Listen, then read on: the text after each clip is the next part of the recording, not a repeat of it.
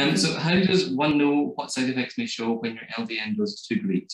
So this is really interesting. Um, again, being involved really quite early on with LDN and MS, we saw that there was, in some people, you sort of reach a ceiling. So that, that's why we, we started titration. Um, initially, um, when we started dosing patients with LDN, everyone just got 4.5 milligrams. Um, and then we realized that it worked for some people and didn't work for some people. And some people felt great and some people felt absolutely dreadful. So that's why we started using titration doses. So really it's when you can you, you can tell yourself you hit the ceiling of feeling better and then suddenly you're feeling worse. Uh, and there's a way to find a dose in there somewhere. And that's a very personal journey for each person.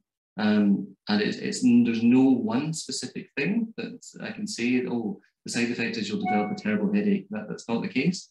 It's just that your improvement suddenly just, just disappears and you get this mad ceiling. So I, am told that you can't really you can't really describe it until it's happened to you.